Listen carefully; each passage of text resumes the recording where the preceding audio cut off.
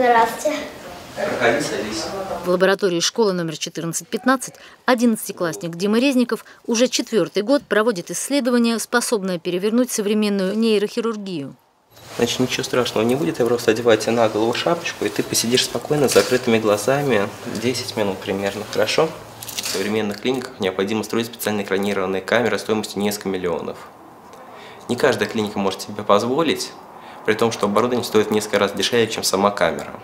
По результатам моего исследования сейчас уже разработана специальная программа, которая позволяет проводить электроцефалограмму в абсолютно любых условиях.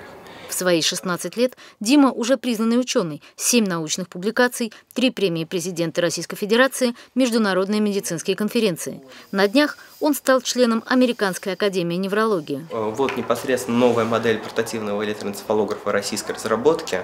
Она абсолютно маленькая и подключается непосредственно к ноутбуку, и нет необходимости в каком-либо дополнительном оборудовании. Э, Соответственно, можно его взять и приехать непосредственно домой к пациенту и провести у него запись. В исследовании принимают участие ученики начальной школы, которые допускаются к эксперименту с согласия родителей.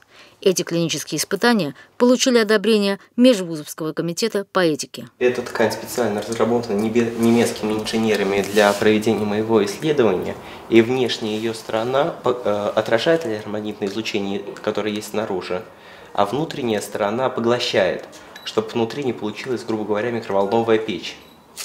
Потому что из-за отражения электромагнитных волн электромагнитная индукция может войти в резонанс, и человек внутри просто зажарится, если не будет отражения.